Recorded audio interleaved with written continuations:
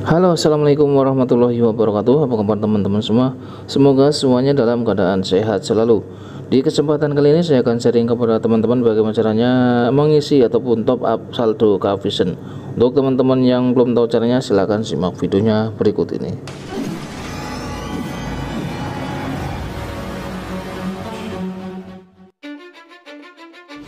Untuk teman-teman pelanggan setia Kavision per tanggal 1 Juli 2023 untuk siaran Transgroup ini akan menjadi siaran berbayar. Jadi untuk teman-teman yang receivernya sudah diaktifasi lebih dari satu tahun untuk menikmati siaran Transgroup ini harus mengisi paket minimal paket termurahnya Kavision yaitu paket Link. Teman-teman bisa langsung membeli paket Link itu sendiri ataupun mengisi saldo ataupun top up dulu nomor pelanggannya baru kita paketkan. Jadi teman-teman bisa melakukan melakukan pembelian paket link ini di teknisi terdekat ataupun di online shop ya. Sebelum melakukan pembelian paket teman-teman siapkan dulu serial number ataupun SMC ID untuk mendapatkan nomor pelanggan. Jadi ada di atas box receiver ini ya pertama kita masuk ke nomor whatsappnya Kak Vision ya. Teman-teman bisa perhatikan nomornya untuk yang belum tahu nomornya WhatsApp Kak Vision nah ini kita sebelum melakukan pengisian paket atau pembelian ini kita terlebih dahulu kita cek dulu apakah ada saldonya ya. Jadi kalau ada saldonya kita tidak perlu melakukan top up ataupun isi saldo bisa langsung melakukan pembelian paket. Nah ini ternyata saldonya ini cuman ada 1000 rupiah. Nah, aktivasi sudah 25 Juni 2021 udah dua tahun yang lalu. Daftar paketnya hanya FTV Gardener doang ya. Jadi untuk paket yang lainnya ini belum ada yang aktif. Nah ini kita bisa melakukan pembelian paket langsung ataupun melakukan top up. Ini kali ini saya akan melakukan top up ya.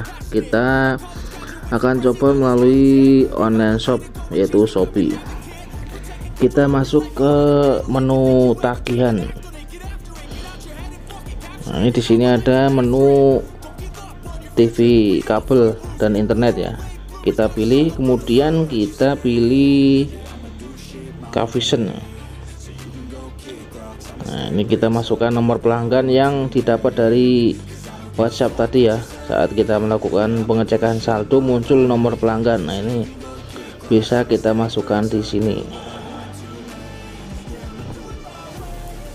Ini jangan sampai salah ya kalaupun kita salah nomor ataupun nomornya tidak cocok sama di receiver kita ini saldonya akan masuk ke nomor pelanggan orang lain ya jadi kita membelinya sia-sia. Jadi harus teliti sebelum melakukan pengisian saldo.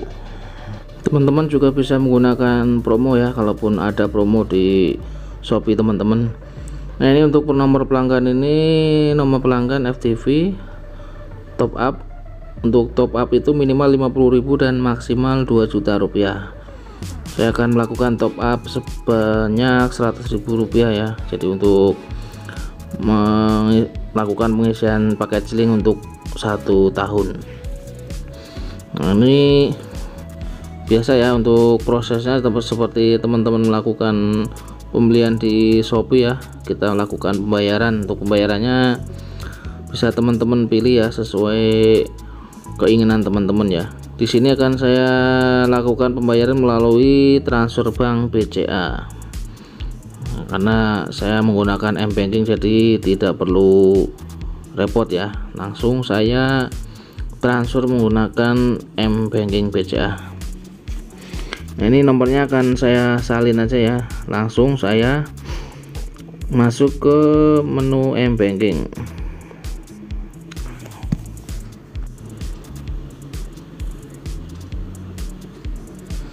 Kemudian kita pilih M transfer dan BCA virtual akun. Kita masukkan nomor pembayarannya.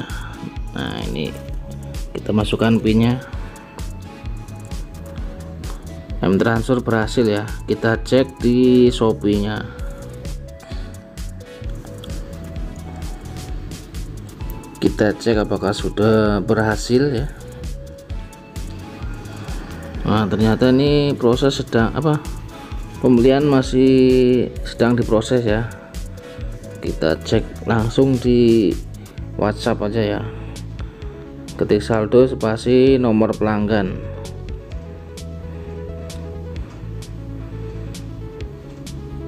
Nah ini pelanggan sekian-sekian ini saldo Anda saat ini Rp101.000 berarti sudah masuk yang top up Rp100.000 ya.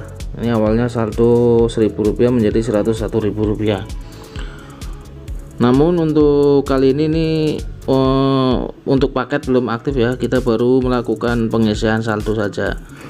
Untuk selanjutnya kita akan melakukan pembelian paket ataupun pengaktifan paket. Untuk mengaktifkan Trans 7 ataupun Transmit TV dan MC, MNC Group ini teman-teman bisa melakukan pembelian paket apa aja ya.